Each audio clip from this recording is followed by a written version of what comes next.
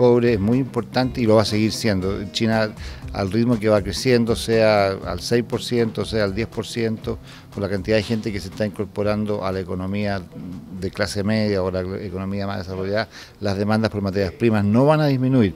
Obviamente en el tema servicio, en el tema de ya productos más sofisticados, eh, bienes y productos más sofisticados, nosotros no tenemos tanta ventaja eh, como países más desarrollados, pero creo que nuestro desafío es justamente buscar cómo insertarnos en estas demandas nuevas que van a venir de allá y por supuesto pienso yo que todo esto que se hace en materia de tratados de libre comercio, integraciones comerciales, integraciones financieras, eh, son muy importantes. Por ejemplo, el mundo financiero está mirando con mucho interés lo que es Hong Kong, lo que es Singapur, lo que es lo mismo Taiwán, y por qué no decirlo también China, a pesar que China por el problema que tiene de, de que su cuenta digamos, de capitales no está abierta, que el yuan no flota libremente, está más rezagada, pero por supuesto para allá vamos mirando, como dijo el señor García al comenzar, hay integraciones financieras de las cuales nosotros no nos vamos a escapar, vamos a ser parte de ellas.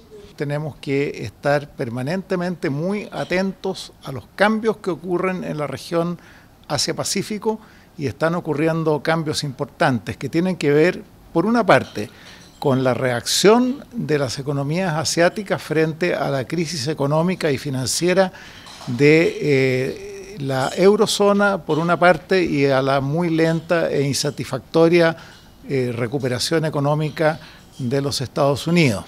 Por otra parte, ellos enfrentan el desafío de disminuir su dependencia del crecimiento liderado por las exportaciones y de poner un acento más claro en el desarrollo de sus mercados internos, lo cual no es fácil de lograr, requiere un gran trabajo en una serie de ámbitos de las políticas públicas.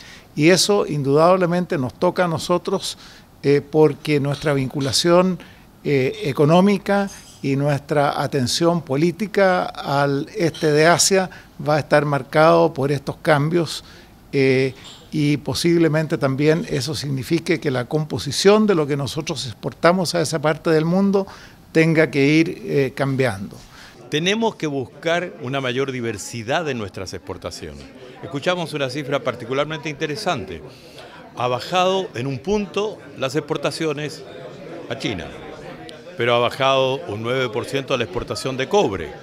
Entonces la diferencia entre la reducción de solo un punto y aquella que hay con el cobre, es que hay otros productos que han entrado a la cancha. Y ese es una señal importante. Productos que tienen que ver con lo, agroindustrial, productos que tienen que ver incluso con sectores manufactureros, poco, pero importante para los volúmenes en relación con nuestra economía. Entonces yo tengo la impresión que ahora vamos a entrar a un nuevo periodo en China, viene un cambio, llega la quinta generación, llega también una clase media que se expande, 350 millones son hoy día, se calcula el 2020 650 millones en clase media en China.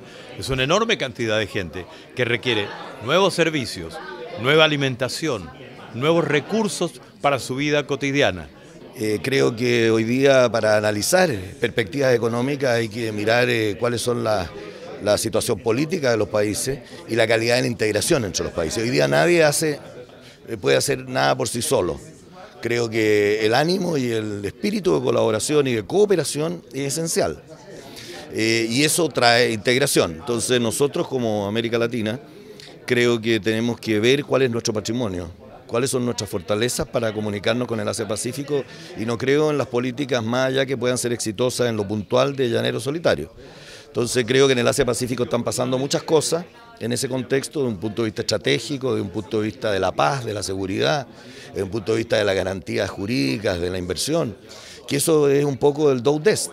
Yo te doy, tú me das. Y esa es la base de lo que son las relaciones.